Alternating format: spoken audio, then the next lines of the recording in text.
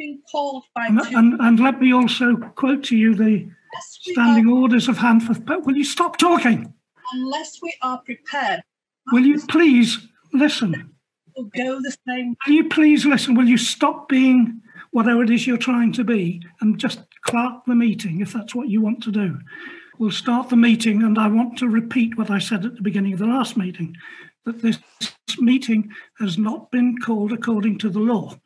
The law has been broken. Meeting has been properly Will you please let the chairman Mrs. Weaver, speak? please. If you disrupt this meeting, I will have to remove you from it. You can't. It's only the chairman who can remove people from a meeting. You have no authority here, Jackie Weaver. No authority at all. She's just kicked him out. I, I, Right. Just a. No, she's kicked him out. Oh. Don't, don't. She's kicked him out. Don't. This is a meeting called by two councillors. Illegally. They now elect a chairman. No, they can't because the vice chair's here. I take charge. Read the standing orders. Read them and understand them. Dear me. Appalling behaviour. Yeah, I'm going to subpoena everybody. Uh, Mr. Burkill, could I ask you to be to be respectful to Jackie Weaver, please?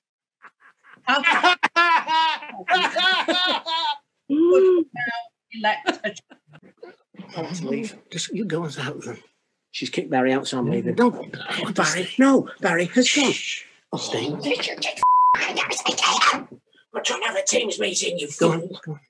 We're trying to have a Teams meeting, you fool. We can't if you've got that. Oh, you just told us. Remaining members, um, quite correctly, um, have you have refused to recognise that um, that position. But as um, Councillor Smith says, I'm afraid there's no way of stopping him calling himself clerk. Please refer to me as Britney Spears from now on.